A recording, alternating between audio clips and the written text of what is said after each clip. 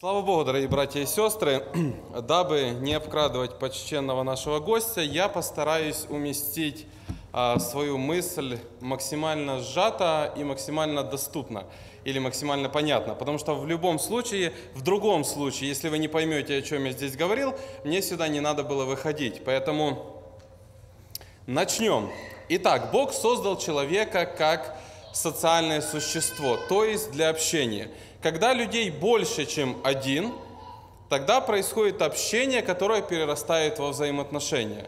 Это может быть взаимоотношения между двумя людьми, в семье, в церкви, в обществе, в стране, а, этническое, расовое и так далее. Есть какой-то вид общения. В процессе общения неизбежно возникают конфликтные ситуации.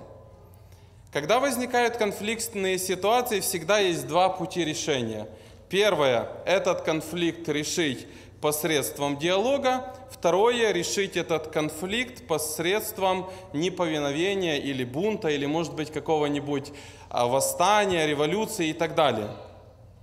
Если мы говорим о бунте, то бунт бывает тоже двух видов. Это тайный и явный. Сегодня я не буду касаться всех аспектов общества, семьи, может быть, взаимоотношений между людьми или государством э, и его населением. Меня интересует отношение общества э, церковного, то есть общество э, или отношение людей в церкви как люди в церкви себя ведут. Это то, что важно лично для меня. Может быть, э, вас интересует что-то еще. Так вот, бунт, если мы говорим о религиозном обществе или о обществе верующих э, людей, он бывает двух видов, как я сказал. Тайный, то есть когда человек просто уходит в подполье, или явный, когда человек открыто не повинуется каким-то вещам, которые ему не нравятся. Любой конфликт, абсолютно любой конфликт работает по схеме, одной и той же схеме. Схема следующая. Я прав, а ты не прав. Если ты признаешь свою неправоту, конфликт исчерпан, я победил. Если же ты скажешь тоже «я прав, а ты не прав», тогда у нас будет столкновение интересов. И если ни один из нас не уступит, или если ни один из нас не пойдет на какой-то компромисс, чтобы решить этот вопрос, получится бунт. И вы знаете, если мы будем э, искренне сами с собой, когда я не повинуюсь, тайно или явно это не так важно, потому что э, в любом случае явно или тайно это видит Бог. Просто когда явно это еще видят люди, когда тайно это только видит Бог. Но в любом случае, когда я не повинуюсь, работает принцип моего эгоизма и моей гордости. Как я говорил, я прав, а ты не прав. Поэтому, когда спрашиваешь у человека по принципу, «А почему ты, например, не был в церкви, он вам скажет, не было времени, у меня сильно болела голова, у меня маленькие дети, у меня вырвалось что-то, у меня что-то не получилось, у меня спустило колесо, у меня отпал задний бампер, что угодно. Он скажет вам, но в сердце у него будет просто один ответ. Я просто не захотел. Человек просто не захотел. Когда вы подвигаете или просите человека что-то сделать, он никогда вам не скажет, знаешь что, я не хочу ходить в церковь. Он так не скажет, только если он уже решил сказать вам и уйти окончательно. Но обычно люди так не говорят. У них обычно куча причин, почему они не сделали что-то, или почему они не выполнили, почему они не пришли, почему они не поддержали ту или иную инициативу, просто потому что там целый список – а самое главное, я не хочу. Вы знаете, что противовес или антоним слова гордости – это слово кротость. И кротости – это слово гордость. Нам всегда хочется заступиться за себя, нам всегда хочется доказать свою правоту. И порой в этой правоте мы заходим так далеко, что мы скрываем истинные мотивы своего недовольства или своего неповиновения. Числа 12 глава, там интересная история. Интереснейшая история. Открывайте, пока я делаю вступление, числа 12 глава. Мы будем читать всю главу. Она небольшая, но там интересно. Там, а, знаете, а, семейный между собойчик, между людьми, которые управляют народом Божьим, но они все родственники, близкие. Старшая сестра, старший брат и младший ребенок в семье – Моисей – и вы знаете, вот как для родителей дети всегда остаются детьми, даже если маме 80, а сыну 60, он все равно ее ребенок, так и для старших братьев, наверное, я не могу судить, потому что у меня нету таковых, ни старших, ни меньших, но, наверное, для старших братьев младшие всегда остаются младшими. Интересно, что в Библии Бог очень часто выбирает младших э, детей в семье. То ли это Моисей, то ли это Давид, то ли это Гедеон, то есть э, то ли это Соломон, но он берет не старших почему-то, он берет младших. Потому что старшему и так полагается все. В любом случае, как бы там ни было, эти три человека, Аарон, Мариам и Моисей, управляли израильским обществом. Они вели его туда, куда сказал им Бог. И на каком-то этапе этого путешествия происходит следующая ситуация. Это числа, 12 глава. «И упрекали Мариам и Аарон Моисея за жену Эфиоплянку, которую он взял, ибо он взял за себя Эфиоплянку. И сказали, одному ли Моисею говорит Господь, не говорил ли он и нам, и услышал сие Господь. Моисей же был человек кратчайший из всех людей на земле, и сказал Господь внезапно Моисею и Аарону и Мариаме, «Выйдите вы трое к скинии собрания». И вышли все трое. И сошел Господь в облачном столпе и стал у входа в скинии, и позвал Аарон и Мариам, и вышли они оба. И сказал, «Слушайте слова мои». Если бывает у вас пророк Господень, то я открываюсь ему в видении, во сне говорю с ним.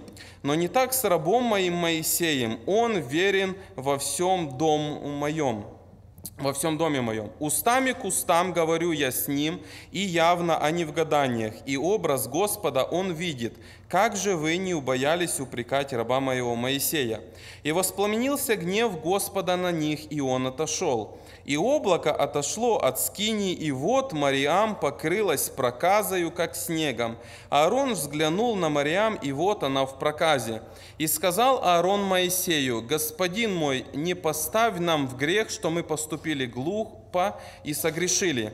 Не попусти, чтобы она была, как мертворожденный младенец, у которого, когда он выходит из чрева матери своей, истекла уже половина, истлела уже половина тела. И возопил Моисей Господу, говоря, «Боже, исцели ее». И сказал Господь Моисею, «Если бы отец ее плюнул ей в лицо, то не должна ли была бы она стыдиться семь дней? Итак, пусть будет она в заключении семь дней вне стана, а после опять возвратится». И пробыла Мариам в заключении вне стана семь дней, и народ не отправлялся в путь, доколе не возвратилась Мариам. Вы знаете, что интересно, что упреки в Библии встречаются часто, и буквально несколько дней назад мы рассуждали над 11 главой книги Деяния, где евреи упрекали Петра за то, что он пошел к язычникам и ел с ними. Когда мы упрекаем человека, возможно, нам кажется, что мы не упрекаем, но всегда есть вот, этот вот, вот эта вот частичка того. Когда мы упрекаем человека, мы это делаем по двум причинам. Или точнее есть два, две исходных того, что мы делаем упрек человеку. Первый, мы желаем, чтобы он поменялся.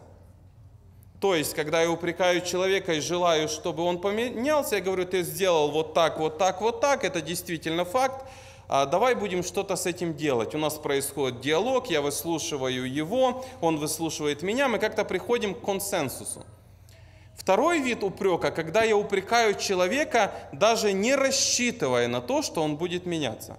Вообще мне не нужно, чтобы он поменялся. Если мне не нравится пастырь церкви, я его упрекаю, мне не нужно, чтобы он поменялся. Мне нужно его сместить, чтобы, допустим, занять его место – если меня раздражает руководитель какого-то служения, мне не нужно говорить ему какие-то советы, чтобы он поменялся. Мне хочется сместить его, потому что я вижу себя на его месте. Это второй вид упрека. Когда евреи упрекали Петра, они хотели узнать, почему он так сделал. Он пришел, объяснил им, все это дело закончилось тем, что имя Божье было прославлено. Но здесь мы видим, что Аарон и Мариам не до конца искренни. Они упрекают Моисея непонятно за что. Сначала это жена Эфиоплянка, потом им не нравится, а действительно ли только с ним говорит Бог. Им не нужно, чтобы младший брат поменялся. Они даже не выставляют требования. Окей, а если бы он отпустил эфиоплянку, и что бы было? Они бы успокоились? Нет, потому что корень, они хотят возглавить поход или выход еврейского народа в пустыне. Поэтому их упрек основывается на гордости. Мы старшие в семье, мы также ходим с Богом, мы тоже лидеры народа, и младший брат руководит нами, руководит народом, делает, что ему нужно. Неужели только с ним говорит Бог? Вы знаете, что интересно, что в наших спорах, когда такие происходят, а давайте будем искренни, такие происходят довольно часто, когда мое мнение упирается в твое мнение, и мы оба сталкиваемся в центре, и никто никому не уступает. Проблема заключается в том, что за нас, подобно Моисею, часто не вступается Бог. За него не вступается, за меня не вступается, и все, на что нам приходится уповать, это на свои силы. Я тебя переубежу, я тебя дожму. Нет, это я тебя дожму, я тебя сдвину. В конечном счете мертвая точка, стоим в одной точке, ни я, ни он не уходит, конфликт не решается. У Мариам и Аарона было желание, стремление к лидерству. Они хотели э, занять главенствующую позицию. Вы знаете, вот это вот э, пренебрежительное отношение к младшим детям в семье, порой это бывает у родителей к детям, когда кажется, ну, знаете, вот в физической жизни все идет по возрасту. Человек один растет, стареет, мы не можем остановить. Вот единственная разница между духовной жизнью и физической, что духовную мы можем остановить в любой момент. Мы можем умереть в любой момент. Мы можем перестать питаться духовно в любой момент. В физической жизни процесс роста и старости, он а, неотвратим. Хотим мы или нет, но мы все постареем. Или войдем в возраст осени – или войдем в какой-то период такой, когда мы уже не в тех силах, как мы были. В духовной жизни я могу все зач- начать и закончить очень быстро. Ну, в зависимости, если вы верите, что так происходит. Гордость всегда скрывает истинные мотивы. Как я говорил вначале, почему ты не пришел в церковь? Потому что. И я выдвигаю целый список. На самом деле просто я не согласен, мне не нравится, я не приду. Знаете, я не говорю сейчас о том, что а, что бы ни происходило в церкви, всегда нужно молчать. Нет, и не к этому я призываю. Я говорю к тому, что когда мы делаем замечание человека, мы же внутри знаем, с какой целью мы это делаем. Просто потому, что я хочу, чтобы человек поменялся. Или я уже не вижу его здесь, я уже ничего не вижу, я просто хочу э, гнуть свою линию, стать во главе движения, быть там кем-нибудь и двигаться вперед. Мне не нужно измененное сердце какого-то человека. Мне нужно, чтобы этот человек ушел с пути. Вот это то, что нужно было Мариаму и Аарону. И гордость всегда выдает желаемое за действительное. Неужели и с нами не разговаривает Бог? Я тоже Вадим Духом Святым. В чем дело? Почему только Моисей? И Бог им объясняет, почему Моисей, потому что говорит, я с ним не в гаданиях, не в видениях общаюсь, я с ним общаюсь лицом к лицу. Они это знали, они это видели, они это чувствовали. Но знаете, перед лицом народа, когда происходит вот такое вот, кто же скажет, что э, я просто хочу власти? Я просто считаю, что я лучше, чем Моисей.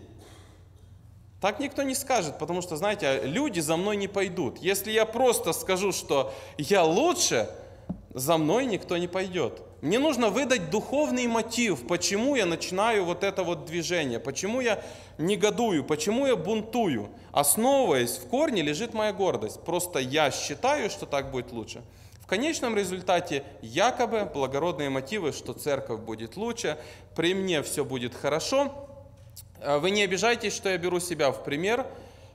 Просто я не хочу брать в пример других людей, поэтому я лучше буду говорить о себе. Как бы там ни было, мы должны всегда понимать, что Бога обмануть невозможно, потому что Бог видит все. И в данном случае Бог вступился за Моисея. Моисей не обманывает, э, написав, что он кратчайший из людей. Если бы Бог видел в сердце, знаете, вот эта притворная кротость, когда человек с таким притворным лицом изображает себя обиженного, а внутри там клокочет вулкан, и только дай ему возможность, этот вулкан выплеснется наружу. Он не выплескивается, потому что мне стыдно, что вот вы на меня смотрите, не дай Бог мне сейчас вспылить. Но внутри он клокочет, и я хожу с таким смиренным видом, якобы смиренным видом. Бог действительно видел, что Моисей кратчайший. Он действительно видел, что Моисей смирился, и он вступился за Моисея. Мы же знаем, мы все с детства знаем, что Бог гордым противится. Бог гордым противится, а смиренным дает благодать. Но я не могу быть смиренным, потому что мне хочется изменений здесь и сейчас. Мне хочется, чтобы что-то поменялось, когда мы говорим сейчас о церковной жизни, поменялось в церкви здесь и сейчас. В семейной то же самое. Мне хочется, чтобы мой авторитет в семье был здесь и сейчас – а то, что это нужно работать годами, что это нужно меняться самому, это уже вопрос десятый. Мне нужно здесь и сейчас, а здесь и сейчас нету. А мне нужно, а его нету. Я стукаю по столу, ничего не происходит. И в конечном счете происходит конфликт. Гордость – это самый большой враг духовности. Вы знаете, когда я говорю, что будет только так и никак иначе, я закрываю всякие пути подхода Богу. Кем была Мариам, вспомните, это пророчица. Пророк – это сосуд, через которого Бог передает свою волю народу, особенно ветхозаветний пророк.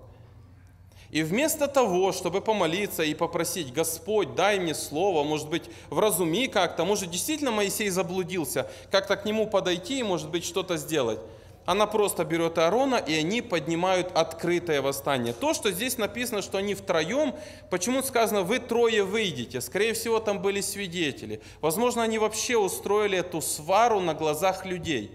Представьте, людям же что нужно? Хлеб и зрелище. Что может быть лучше, когда три лидера решают, кто из них главный?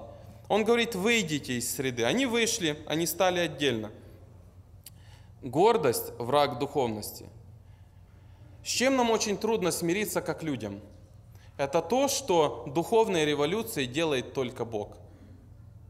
Я не знаю даже следующих 30 минут своей жизни.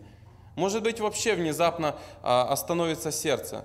Но когда я делаю что-то, у меня долгосрочные планы, у меня перспектива развития, у меня какие-то вещи. Но духовные революции делает Бог. Если Бог в какой-то момент избрал Моисея, Он ее избрал для какой-то цели. Но вспомните, что случилось, когда Моисей нарушил Божью волю. Он не вошел в обетованную землю. Аарон туда не вошел, Мариам туда не вошли. Бог все равно не попустит, чтобы человек нарушал его волю. И то, что нам кажется сегодня, что что-то может быть несправедливо, что-то может быть где-то не так, помните, Бог видит все. И это очень интересно, что Божий человек, он не митингует, он молится. Это самое трудное. Самое трудное, когда не нравится пастор, за него молиться. Самое трудное, когда не нравятся служителя, за них молиться. Самое трудное, когда не нравится прославление, молиться за лидеров, за участников. Самое трудное, когда не нравится человек, за него молиться. Самое трудное – молиться – искренне. Вы знаете, что опять-таки мы возвращаемся к тому, что Бог видит все. Мою неискреннюю молитву, может быть, даже пущу слезу за какого-то брата, которого я терпеть не могу, Бог не услышит эту молитву. Бог не услышит эти вопли притворные, потому что или я от всего сердца молюсь за человека, чтобы он изменился, или я просто зря на воздух произношу какие-то слова. А Павел говорит, никакого слова нету без значения. Нам с этим трудно смириться, потому что мы живем в теле. И не у всех дух превозмогает плоть, а чаще всего плоть превозмогает дух. И по-плотски это правильно. Вызвать, обличить, укорить, наказать, расстрелять, что угодно сделать. Это правильно по-человечески. Но в духовном мире чуть-чуть по-другому. В духовном мире не происходит ничего случайного. Это в физическом я могу случайно зайти в какие-то двери. Это в физическом я могу случайно оказаться где-то. В духовном так не происходит, потому что за всем наблюдает Бог. Глупость и грех, они шагают в ногу. Вы знаете, кто когда-нибудь смотрел парад вот людей, которые идут не в колоннах, а в шеренгах, они все идут в ногу. Так вот, глупость и грех, Они шагают в ногу в одной шеренге, не в одной колонне, не друг за другом, кто первый, кто дальше. Они шагают в ногу, в один ритм. Потому что глупость и грех, точнее грех это и есть глупость. Понимая, что грех влечет за собой смерть, мы продолжаем грешить. Вопрос, зачем? Чтобы жить. Потому что никто не хочет умирать, значит мы хотим жить. Но раз мы грешим, значит мы умрем. То есть мы делаем что-то, чтобы умереть, но очень сильно хотим жить. Это глупо. Это глупо не искать Божьей воли. Потому что Бог видел нас еще от утробы матери. Ни доброго мы не сделали, ни плохого. Мы еще не были красивыми, высокими или маленькими, но все равно красивыми. Мы еще не были в каком-то определенном возрасте. Мы не были вообще, а Бог уже нас видел. И это очень глупо. Восставать на Божью волю, пробуя поменять духовную атмосферу в церкви физическими методами. Я еще раз говорю, если это тайный бунт, он ничем не лучше открытого противостояния. Потому что перед Богом и там, и там сердце, которое не желает подчиняться. Потому что я знаю лучше. А если же вы все-таки решились на открытый бунт, не надо обманывать. Скажи честно, почему ты не пришел сюда, почему ты не сделал тут, почему ты не помолился за этого человека. Скажи просто, мне все равно. Скажи просто, а так ему и надо. Скажи просто, тогда люди будут знать, что ты за человек. Бог же знает, что я или вы за люди. Бог же знает все абсолютно. Мы не обманем самого главного, которого мы почему-то пытаемся обмануть. Гордость делает изгоем. Когда я самый лучший, когда я самый умный, когда я самый способный, рано или поздно получается, что я становлюсь один. Вы знаете, Мариам была пророчица, к ней ходили толпы людей за тем, чтобы узнать волю Божью. Но пришел момент, когда вмешался тот Бог, который должен был говорить через нее, и он наказал ее проказой. И она была выведена за стан. Ее полностью выслали на семь дней. Она была лишена общения с другими людьми. Вместо того, чтобы возглавить многомиллионный народ, она сидела где-то на отдалении и, скорее всего, шкребла себя чем-нибудь, чесалась, потому что проказа – это не просто белый цвет на коже. Это боль, это свербение – это, возможно, испускание каких-то там гнойных э, веществ. Это не просто так, знаете, посидеть в белом цвете за станом. Тут ничего такого. Это действительно было больно. И за эти семь дней я верю, что Мариам переоценила свое поведение. Она переоценила и узнала, что такое Бог. Вы знаете, самое главное, отсутствие единства, оно тормозит дело Божье. Это мне сегодня кажется, что если я настаю на своем, если я уберу все преграды, то то, как думаю я, сделает мою церковь самой большой, самой успешной, самой процветающей. Надо, конечно, что-то делать. Максимум, что это сделает, просто к разделению.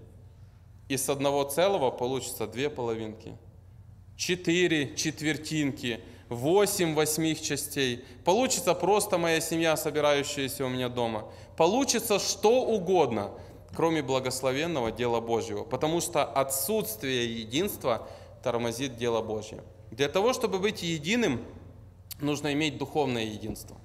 Для того, чтобы быть единым, нужно быть в общении с Богом, потому что один Бог, Он будет давать мысли одинаковые, вразумления людям, которые исполняют Его волю. До тех пор, пока я не хочу слушать Бога, до тех пор, пока я просто хочу настаивать на своем. Все закончится тем, что Аарон говорит, господин мой.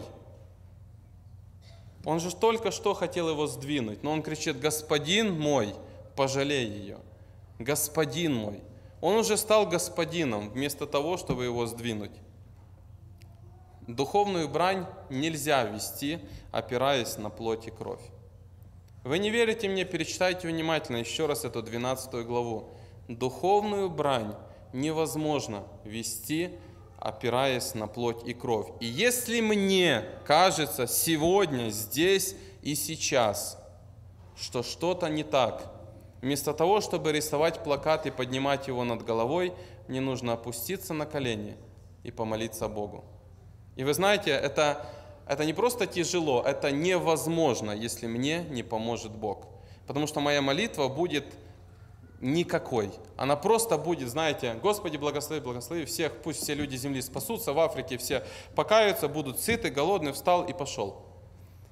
Когда ты молишься за конкретную нужду конкретного человека и берешь ее как свою, молитвы за одного этого человека тебе хватит на недели, на месяцы упорной молитвы, чтобы Бог поменял ситуацию. Сердце человеческое, мысли человеческие не меняются просто так. В одно время вот взял и поменялся. Это процесс. Легче просто хлопнуть дверью, легче просто закрыть, легче просто вспылить, легче просто что-нибудь сделать вместо того, чтобы помолиться, подсказать, выслушать человека и помочь ему поменяться, а не просто вычеркнуть его из какого-то списка и сказать, все, больше никакого общения с ним не имею. Пусть нас Бог благословит, чтобы мы понимали, что истоки любого, любого, подчеркиваю, любого, тремя линиями, пятью, как у вас в голове это фиксируется, подчеркните жирным, любого бунта – это моя гордость.